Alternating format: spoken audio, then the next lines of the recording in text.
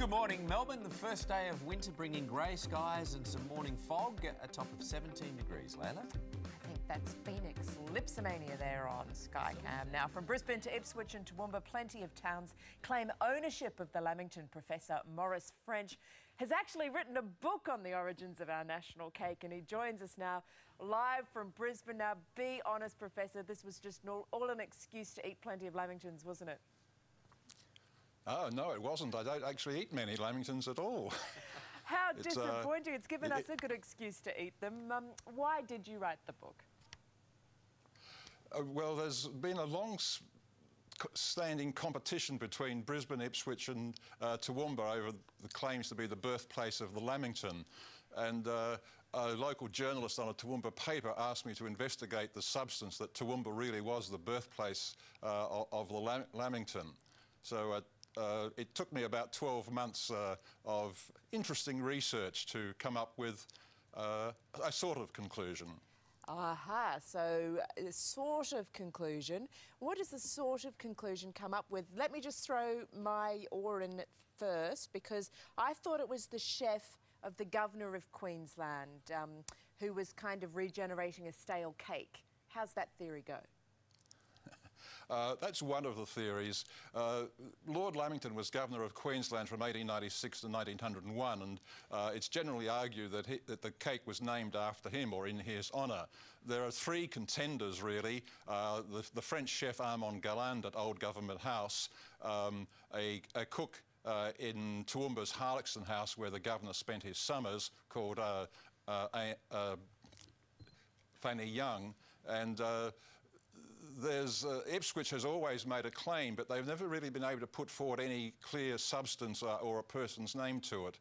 There is, however, a, a, third contender, I think, and that's the cooker instructor Amy Schauer at the Brisbane Technical College, where Lady Lamington actually attended cooking classes and was quite well liked by the students there.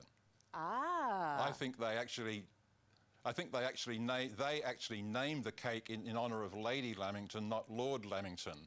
That's not to say that they necessarily were the first people to make the cake, though. And uh, how did Lord Lamington feel about the cake? Well, we don't really know. There, there is this uh, sort of mythical story that he referred to them as those bloody puffy woolly biscuits, uh, but it, it's very hard to prove that they were his actual words. Um, there is actually no documentation uh, at all about his reaction to uh, the Lamington. Indeed, the Lamington family seemed unaware of the cake named in their honour until long after they left Queensland. Uh, and um, feelings run high, don't they? People get passionate about the origins of the Lamington. Well, they certainly do in, in southeast Queensland. Uh, there's a rivalry between Ipswich and Toowoomba, uh, not only to be the birthplace of the Lamington, to, to, to make the biggest or largest Lamington, and perhaps there's even a an attempt now to erect a big Lamington statue in Toowoomba. That's funny.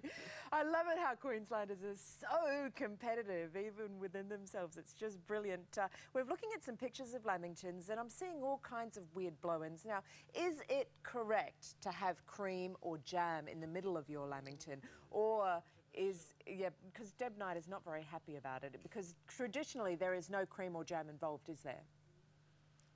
Well, that's probably not quite true. The, uh, the purists say that there should be no cream or jam in the Lamington, but my research has shown that the second identified Lamington recipe actually did have cream in it.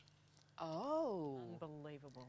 Interesting. But it, it seems to have then fallen out of favour for some time and come, the jam and cream comes back in, the, in the, really the 1920s and 1930s depression. And, and Maurice, what's the truth about it being a way to liven up a stale cake?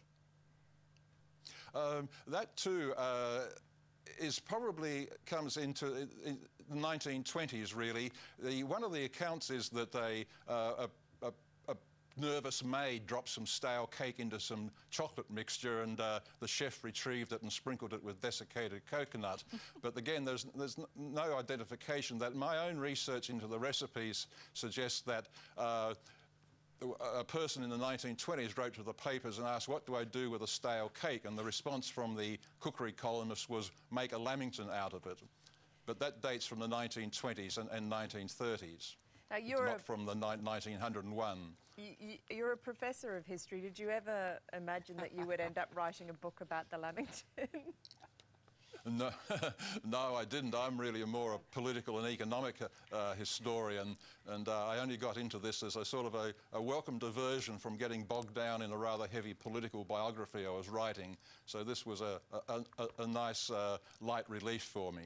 Yes, just as light as the beautiful Lamington. Now, uh, you know, of course, that this was just a little test before you get involved in the great debate, the greatest debate of all, and that is the history of the Pavlova. Will we be seeing that book?